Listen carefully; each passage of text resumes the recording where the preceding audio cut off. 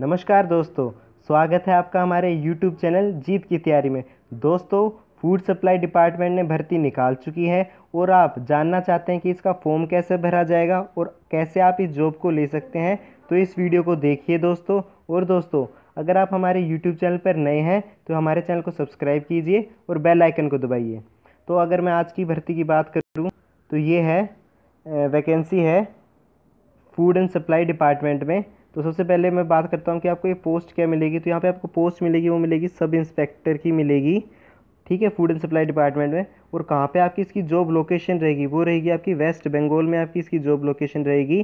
पर आप all India से इसे अप्लाई कर सकते हो। भले ही आप पंजाब से हो, मद्रास से हो, या से हो, दिल्ली से हो, जम्मू एंड कश्मीर से हो, कहीं से भर सकते हो आप। पर जो आपकी जॉब लोकेशन रहेगी, जो जहाँ पे आपको जॉब करनी पड़ेगी, वो वेस्ट बंगाल रहेगी।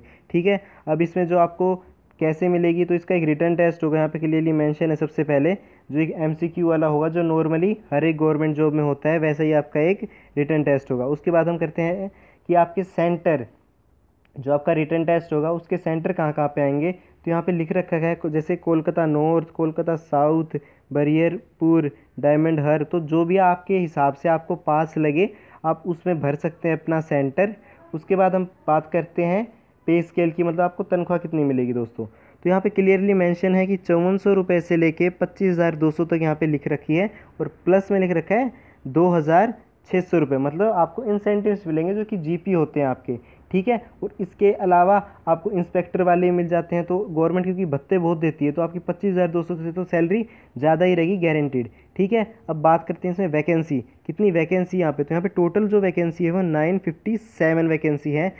सही सही वैकेंसी है दोस्तों, ना कम है, ना ज़्यादा है, अच्छी वैकेंसी है। तो मैं तो ये कहूँगा, आप इस फॉर्म को ज़रूर भरें। आगे मैं इसमें बात करता हूँ कि क्वालिफिकेशन आपको क्वालिफिकेशन क्या चाहिए इसके लिए? तो इसके लिए आपको क्वालिफिकेशन चाहिए, वो टेंथ पास होनी चाहिए आप केवल और केवल। अगर आपके पास उससे ज़्यादा भी कोई डिग्री है, मान लो आप ट्वेल्थ पास या आप ग्रेजुएट हो तो भी आप उसको भर सकते हैं, पर आपका उसका कोई प्रॉफिट नहीं मिलेगा तो आप टेंथ की अपनी डिग्री लगा के उसे फॉर्म में यूज़ करेगा ठीक है दोस्तों, अब बात कर लेता हूँ एज लिमिट की। आपकी एज कितनी होनी चाहिए? तो यहाँ पर लिख रखी है eighteen year to forty year ठीक है मतलब अठारह साल से लेके चालीस साल तक आपकी ए, क्या बोलते हैं उम्र होनी चाहिए एज होनी चाहिए। ठीक है? चलो आगे बात करते हैं। तो आगे है कि आपको जो एज कंसेशन मिलेगा तो जो भी आपकी कास्ट होती है जैसे O B C S T जो भी आपको जो नॉर्मली मिलती है आपको अपनी कास्ट के हिसाब से पता होगा वो आपको यहाँ पे कंसेशन मिल जाएगा। ठीक है अब बात कर लेते हैं आपकी फ़ीस की। फ़ीस यहाँ पे जो है वो एक सौ दस रुपये है। ठीक है? एक सौ दस रुपये आपकी यहाँ पे आपकी फ़ीस रहेगी। चलो, आगे बात करते हैं हम इसमें कि आपकी ये फॉर्म भरने कब से स्टार्ट होंगे, ठीक है?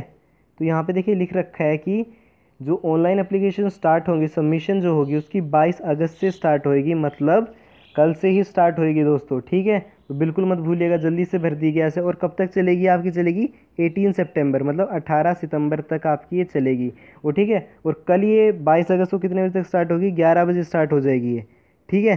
तो 11 बजे के बाद ही भरना दोस्तों। और अगर आपको कुछ भी डाउट हो या कुछ समझ में ना आया हो तो वीडियो के वीडियो में नीचे कमेंट के बता देना मेरे को। मैं आपका डाउट है वो ज़रूर दूर करूँगा। और दोस्तों, इस वीडियो को लाइक और शेयर करना बिल्कुल मत भूलिएगा। और हमारे चैनल को सब्सक्राइब करना तो बिल्कुल मत भूलिएगा। धन्यवाद दोस्तों।